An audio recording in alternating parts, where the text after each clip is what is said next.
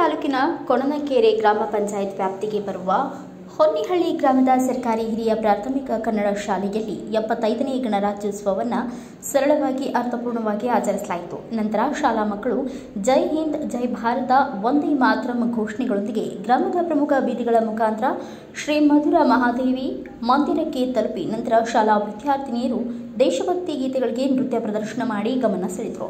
ಇನ್ನು ಈ ಸಂದರ್ಭದಲ್ಲಿ ಶಾಲಾ ವಿದ್ಯಾರ್ಥಿನಿಯರಾದ ಶ್ರಾವಣಿ ಸಾಗರ್, ಮಾದಿಗ, ರಾಧಿಕಾ ಗುಡುಮಿ ಸೃಷ್ಟಿ ಬಡಿಗೆ ಸೇರಿದಂತೆ ಇನ್ನು ಅನೇಕ ಗಣ್ಯಮಾನ್ಯರು ಹಾಗೂ ಗ್ರಾಮ ಪಂಚಾಯಿತಿಯವರು ಹಾಗೂ ಎಸ್ಡಿಎಂಸಿಯ ಸರ್ವ ಸದಸ್ಯರು ಉಪಸ್ಥಿತರಿದ್ದರು.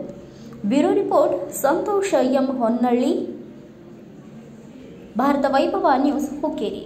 Thanks for watching. Read, discuss, and debate with editor Dr. Yan Prashant Rao. Wanted reporters in print, digital, and visual media for Bharat Vaibhav Daily newspaper, BV News channel, and BV Fast Web News from all the talukas of Karnataka. If interested, send your resume to 9482633333.